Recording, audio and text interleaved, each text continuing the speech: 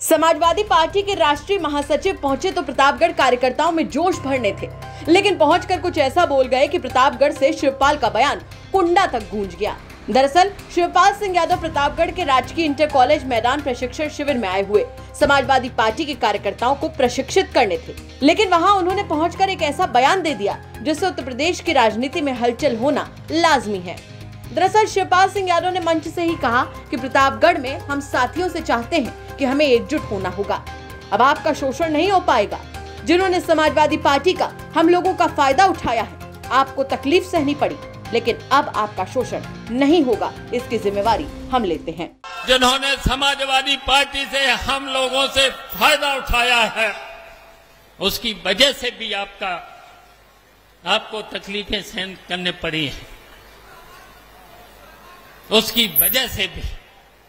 लेकिन अब आपके ऊपर बिल्कुल भी अन्याय, उत्पीड़न और शोषण नहीं होने दिया जाएगा। हम आपकी ज़िम्मेदारी को लेते हैं। बता दें कि भले ही शिवपाल ने मंच से किसी का नाम नहीं लिया हो, लेकिन कयास यही लगाए जा रहे हैं कि शिवपाल का यह बयान सीधे तौर पर ना सही, लेकिन हमला राजा भैया पर ही था। क्योंकि एक वक्त था जब राजा भैया सपा के, अखिलेश यादव के बेहद करीबी थे। अब देखने वाली बात ये होगी कि इशारों इशारों में किए गए हमले पर राजा भैया का कोई जवाब आता है या नहीं। प्रतापगढ़ से सुनील यादव की रिपोर्ट, यूपी तक।